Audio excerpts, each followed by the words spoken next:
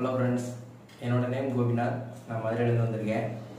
நான் பார்த்தீங்கன்னா எனக்கு வந்து எக்ஸ்போர்ட் பண்ணணும் அப்படின்னு சொல்லிட்டு எனக்கு ஏற்கனவே ரொம்ப நாள் ஒரு ஆசை இருந்துச்சு.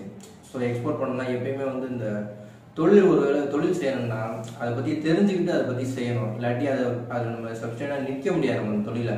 ஸோ அது தெரிஞ்சுக்கணும் அப்படின்னும்போது அதை யார் சொல்லி தருவா அப்படின்னு பார்த்தா நமக்கு யாருமே கிடையாது. இப்போ நான் அந்த தொழில் பண்ணுறேன்ப்பா வாப்பா நீ செய்ப்பா. அப்படின்னு சொல்லி யாரும் நம்மளை கூப்பிடவும் மாட்டாங்க. நம்ம போய் கேட்டாலும் அதை சொல்லித் தரவும் மாட்டாங்க. ஸோ நம்ம அதை சொல்லித்தர மாதிரி ஆட்கள் தேடும் பொழுது நமக்கு வந்து இருக்காங்க. பட் ஆனால் அவங்க எந்த லெவலில் சொல்லித் தருவாங்க? ஒழுங்காக சொல்லி தருவாங்களா? மாட்டாங்களா? அப்படின்ற ஒரு சந்தேகம் இருந்துகிட்டே இருந்துச்சு. சரி நம்ம மதுரைக்குள்ளே எங்கிட்டாவது இருப்பாங்கன்னா பார்ப்போம் அப்படின்னு சொல்லிட்டு நான் தேடும் பொழுது எக்ஸ்போர்ட் ஹெல்ப் சென்டர் வந்தேன் நான். வந்து பார்க்கும்போது எனக்கு ஃபர்ஸ்ட் டே வந்தோடனே எனக்கு நார்மலாக என்ன பண்ணுவேன் வந்தோடனே எப்படி சார் எவ்வளோ ஃபீஸ் இது பண்ணுறீங்க என்ன டீட்டெயில் அப்படின்னு மட்டும் தான் கேட்டு போவோம். பட் ஆனால் இங்கே எனக்கு அப்ரோச்சே கொஞ்சம் டிஃப்ரெண்ட்டாக இருந்துச்சு. இந்த மாதிரி நீங்கள் படிக்க வரீங்கன்னா என்னென்ன உங்களுக்கு படிச்சிருக்கீங்க? உங்கள் குவாலிஃபிகேஷன் என்ன? நீங்கள் என்ன பேக்ரவுண்டில் இருக்கீங்க? என்ன ஏதுன்னு நம்மளுடைய டீட்டெயில் கேட்குறாங்க நம்மளுடைய டீட்டெயில் கேட்டுட்டு நம்ம வந்து அதுக்கு எது எலிஜிபிலிட்டியாக இருக்கிற ஆளாக இருந்தால் மட்டும் அக்செப்ட் பண்ணிக்கிறாங்க. நீங்கள் வாங்க சார் உங்களால் முடியும். நான் உங்களுக்கு சப்போர்ட் பண்ணுறேன் உங்களுக்கு ட்ரைனிங் கொடுக்குறேன்னு சொல்லிட்டு அதுக்கு தகுந்த மாதிரி நம்மளை கைட் பண்ணி கொண்டு போகிறாங்க பட் அந்த ஃபர்ஸ்ட் டே நான் வந்தபோதே பார்த்தீங்கன்னா ஏற்கனவே கிளாஸில் இருக்க ஸ்டூடெண்ட்ஸோட டைரெக்டாக கொண்டு வந்து என்னை உட்கார வச்சிட்டாங்க உட்கார வச்சுட்டு நீங்கள் வந்து இப்போ கிளாஸ் பற்றி உங்களுக்கு என்ன டவுட் வேணுன்றனாலும் இப்போ ஏற்கனவே படிச்சுட்டு இருக்கவங்கள்ட்ட கேட்டு தெரிஞ்சுக்கோங்க. அவங்க என்ன சொல்கிறாங்க அப்படின்றத நீங்கள் கேட்டுட்டு என்கிட்ட சொல்லுங்க அப்படின்னு சொல்லிட்டு போயிட்டாங்க. ஃபர்ஸ்ட் டே எனக்கே ரொம்ப இதாக இருந்துச்சு ஷையாக இருந்துச்சு. என்னடா டக்குன்னு உட்கார வச்சிட்டாங்க எப்படி பேசுறது அப்படின்னு சொல்லிட்டு. பட் ஆனால் நானும் அவங்களோட இன்ட்ராக்ட் பண்ணும்போது அவங்களும் பாசிட்டிவாக சொன்னாங்க. சொல்லிட்டு எனக்கு வந்து ஒரு டேட் சொன்னாங்க. இந்த டேட்டை நாங்கள் அவேர்னஸ் கிளாஸ் மாதிரி நாங்கள் எடுக்கிறோம். நீங்கள் அந்த கிளாஸில் வந்து அட்டன் பண்ணுங்கள் அதில் உங்களுக்கு என்ன மாதிரி உங்களுக்கு புரிஞ்சுக்கிறீங்க? உங்களுக்கு எப்படி இருக்குன்றத சொல்லிட்டு நீங்கள் அந்த கிளாஸை கண்டினியூ பண்ணலாம். இதில் வந்து ஃபீஸ் அமௌண்ட்லாம் கிடையாது. நான் உங்களுடைய இப்போ ஒரு எப்படி நீங்கள் வரணும் அப்படின்றதுக்காக ஒரு இதுக்காக எடுக்கிறேன் அப்படின்னு சொல்லி சொன்னாங்க. நானும் வந்து அட்டன் பண்ணி பார்த்தேன். பட் அட்டன் பண்ணதுக்கு அப்புறம் தான் தெரியுது நமக்கு வந்து ஒரு நம்மளுக்குள்ளே ஒரு இது இருக்கும்.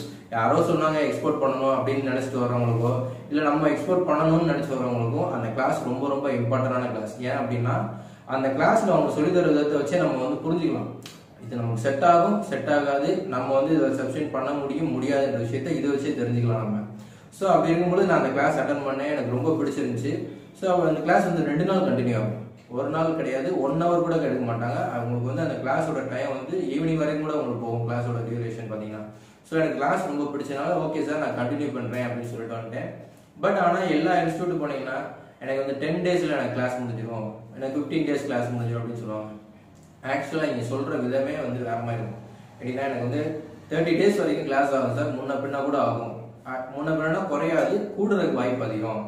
ஏன் அப்படின்னா நீங்கள் என்ன லெவலில் இருக்கீங்க என்னென்ன உங்களை அப்டேட் பண்ணணுன்றத உங்களை பர்சனலாக ஸ்டடி பண்ணி அதுக்கு தகுந்த மாதிரி உங்களுக்கு வந்து அப்டேட் பண்ணுவாங்க.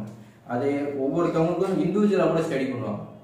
இவர் மேக்ஸில் வீக்காக இருக்காரா இல்லை கம்யூனிகேஷனில் வீக்காக இருக்காரா இல்லை வந்து சிஸ்டமில் இருக்காரா அப்படின்றத. ஏன் அப்படின்னா நம்ம எடுக்கும் பொழுதே குவாலிஃபிகேஷன் செக் பண்ணிடுறாங்க. இருந்தாலும் அந்த ஃபீல்ட் ஆஃப் நாலேஜ் அவங்க சொல்லி தரும் பொழுது அதில் வந்து அவங்க என்ன அளவில் புரிஞ்சுக்கிட்டாங்க நம்ம என்ன அவங்களுக்கு என்ன அப்டேட் கொடுக்கணுன்றதை நம்மகிட்ட செக் பண்ணுவாங்க. அதுக்கப்புறம் அடுத்து பார்த்தீங்கன்னா நம்ம அவேர்னஸ் கிளாஸ் முடிச்சு நான் கிளாஸ் வந்து பார்த்தீங்கன்னா முப்பது நாளுக்கு மேலே ஆகுதுன்னு சொல்லியிருந்தேன். அந்த கிளாஸ் போக போக தான் எனக்கு பார்த்தீங்கன்னா ஒரு எக்ஸ்போர்ட்டுக்குள்ள இவ்வளோ விஷயம் இருக்கு. இது தெரியாம நம்ம ரேண்டமான ஒரு மைண்ட்ல டிசிஷன் எடுக்க முடியாது மணி இன்வெஸ்ட் பண்ண முடியாதுன்றது தெரிஞ்சுக்கிட்டேன். அது ஏன் அப்படி சொல்றேன்னா ஒவ்வொரு கிளாஸும் பார்த்தீங்கன்னா ஒவ்வொரு அப்படிங்கிறது வந்து ஒரு செயின் ப்ராசஸாகவே நம்ம போயிட்டு இருக்கோம். இதை தொட்டா இது இதை தொட்டா அதுன்னு சொல்லிட்டு போயிட்டு இருக்கும் பொழுது நமக்கு வந்து என்ன சொல்றது? ஒரு கண்டினியூஷன் இங்கே நமக்கு ஒரு கிளாரிஃபிகேஷன் கிடைக்கும் நமக்கு அப்போ நம்ம ஒரு ப்ராடக்ட் எடுக்கிறோம். எடுத்தோன்னே அந்த கொரியர் மாதிரி கிடையாது எக்ஸ்போர்ட் இதுக்குன்னு ஒரு ப்ரொசீஜர் இருக்கு. இதை பண்ணோம்னா இதை பண்ணணும் இதை முடிச்சிட்டோம்னா இதை பண்ணணும் இதை முடிச்சுட்டா இதை பண்ணணும் அந்த ஃபுல் பேக்கேஜான ஒரு விஷயத்தையும் இங்கே நான் வந்து கற்றுக்க முடிஞ்சு ஈவன் அந்த கிளாஸ் முடிஞ்சிருச்சு எனக்கு. முடிஞ்சதுக்கு அப்புறம் கூட பார்த்தீங்கன்னா எனக்கு நல்ல ஃபீல்டுக்குள்ளே இறங்கலை. இறங்காமலே எனக்கு வந்து ஒரு நல்ல ஒரு பாசிட்டிவ்னஸ் எனக்குள்ளே கிரியேட் ஆகுது. நான் பண்ணிடுவேன் எனக்கு வந்து சப்போர்ட் வந்து அந்த அளவுக்கு தேவைப்படாது. என்னால முடியும் நான் பண்ணிடுவேன் அப்படின்றது வந்து எனக்குள்ள ஒரு ஒரு எனக்குள்ள ஒரு செல்ஃபாக கிரியேட் ஆயிடுச்சு. ஸோ அதுக்காக எனக்குள்ள ஒரு கான்ஃபிடென்ட் இருந்தாலும் இந்த எக்ஸ்போர்ட் பிஸ்னஸை பொறுத்த வரைக்கும் இன்வெஸ்ட்மெண்ட் அப்படின்றது ரொம்ப ரொம்ப முக்கியம்.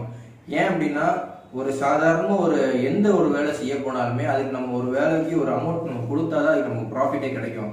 அப்படி இருக்கும்போது நம்ம அமௌண்ட்டே கொடுக்க வேண்டாம் கொடுக்காமலே நம்ம எல்லாமே செஞ்சிடலாம் லட்சக்கணக்கில் கோடிக்கணக்கில் பண்ண முடியும் அப்படின்னா அது எப்படி பாசிபிள்னு எனக்கு தெரியல. பட் இன்வெஸ்ட்மெண்ட் இருக்கணும். இன்வெஸ்ட்மெண்ட் நீங்கள் பண்ணும் பொழுது அதோட ப்ராஃபிட் உங்களால் கிடைக்க முடியும். இது முக்கியம். அதுக்கப்புறம் பார்த்தீங்கன்னா உங்களுக்கு எஜுகேஷன் வந்து ரொம்ப ரொம்ப முக்கியம். ஏன் அப்படின்னா இப்போ நீங்கள் இந்தியாவில் இருக்கீங்க. நீங்கள் யார்கிட்டனாலும் உங்களுக்கு லோக்கல் லாங்குவேஜ் பேசிக்கிறீங்க. உங்களுக்கு தேவையான விஷயத்த. எக்ஸ்போர்ட்டை பொறுத்த வரைக்கும் நீங்கள் இப்போ பண்ணக்கூடிய விஷயம் பூரா வந்து வெளிநாட்டில் இருக்கவங்க கூட தான் நீங்கள் பண்ண போகிறீங்க அவங்களுக்கு நம்ம லாங்குவேஜ் தெரியுமான்னு கேட்டால் கிடையாது.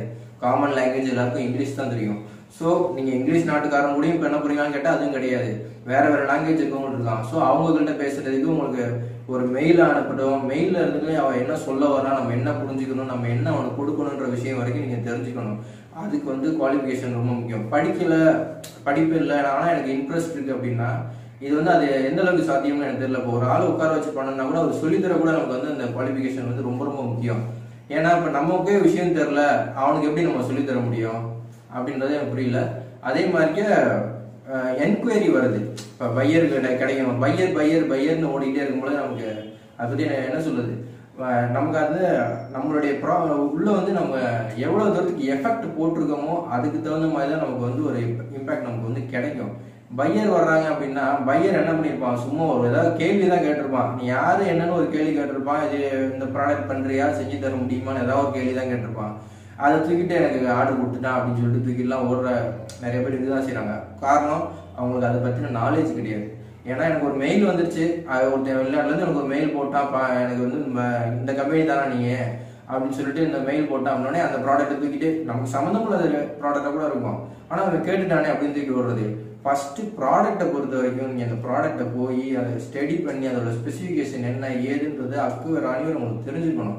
தெரிஞ்சாதான் உங்களுக்கு பையன் உங்கள்கிட்ட ஏதாவது ஒரு கேள்வி கேட்கும்போது கூட அது சம்மந்தமாக என்னால் இது முடியும் இது முடியாதுன்னு உங்களால் டிசிஷன் சொல்ல முடியும். அவர் கேட்கறதுக்கு கூட நம்மளால தலையாட்டினோம்னா அதுதான் அவ்வளோதான் முடிஞ்சது அந்த மாதிரி தான் ஏன்னா நமக்கு அந்த ஸ்பெசிஃபிகேஷன் டீட்டெயிலாக தெரிஞ்சாதான் இந்த ப்ராடக்ட்ல அவன் கேட்கறத செய்ய முடியும் என்னால் செய்ய முடியாதுன்றதை என்னால் போல்டாக சொல்ல முடியும். அப்பதான் அவன் என்ன நினைப்பான்?